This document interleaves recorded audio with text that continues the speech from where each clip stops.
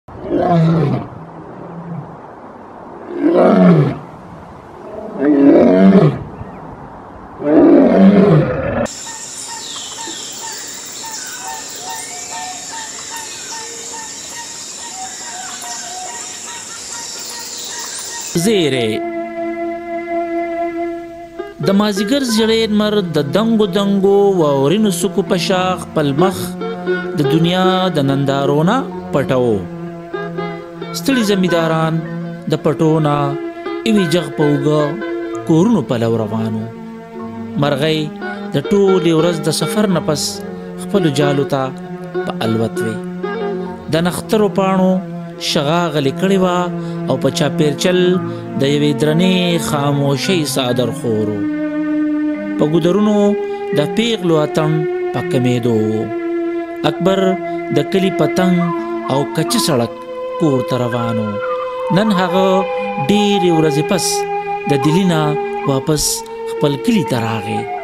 د هغه د راتلو نه وړاندې ډاکی یو چټۍ دته په کور کې پرې خو دی وا کوم چې کور ته په داخليدو سره څوکیدار دته د موټر د گیټ په پرانیستي شیشه کې ورکړه اکبر په ګیراج کې موټر ودرو خط یې په لاسو کې نیولې د کور په دروازه ورننوتو دغه مور زرینه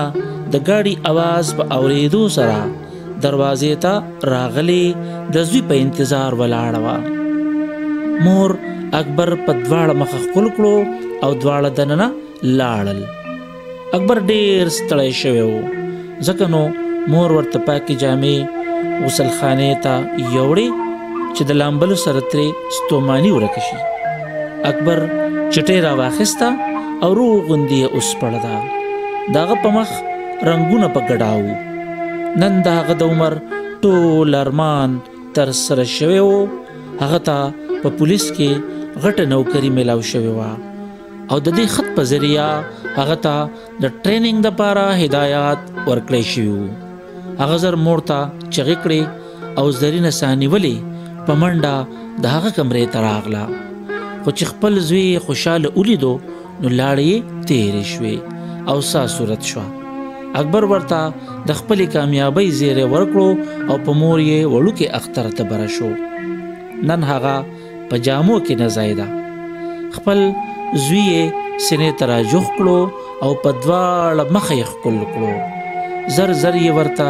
سپېلني لوګې کړل او د نظر ماتې ټولې ټوټکې یې پرې وکړې د زرینې په خیال کې د اکبر سره ډولۍ وګرځېده. هغې په تصور کې د اکبر په ډولۍ ګلونه شیندل او په کوڅه کې ورته دواړه نستوڼي وهل. د اکبر پلار اس پی اختر د څه ضروري میټینګ د پاره ستري نګر ته تللی و.